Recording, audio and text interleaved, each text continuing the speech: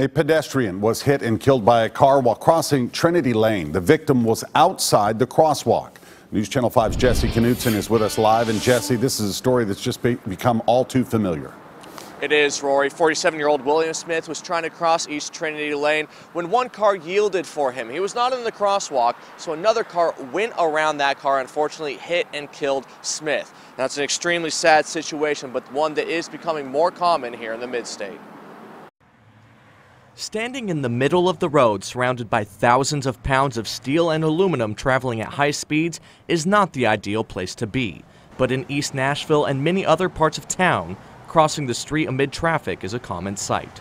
Nobody really watches out for you out there. A lot of crazy drivers, a lot of people pulling out in front of each other. It's like a deadly game of Frogger. The fact that the traffic is so relentless, people just kind of find their chance to cross the street whenever they can. Unfortunately, many people have been killed trying to cross Nashville streets. And while sometimes it's the driver's fault, other times the pedestrian has a role to play, putting themselves at danger. They will be crossing the street and I won't see them because they're wearing dark clothing.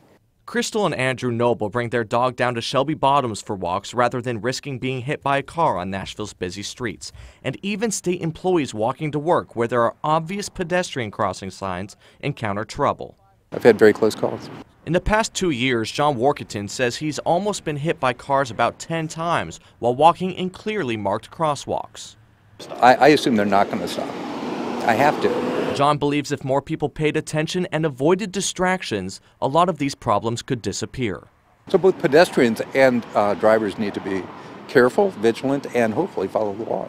As for the Noble family, they think if everyone was a little more considerate on the roadways, Nashville would be a better and safer place. It all boils down to people caring about each other. Yeah. And being conscious and watching out for one another. Definitely something to be cognizant of. Now, at this time, it's unclear if any charges will be filed against the driver in that fatal accident last night. Live in Nashville, Jesse Knutson, News Channel 5.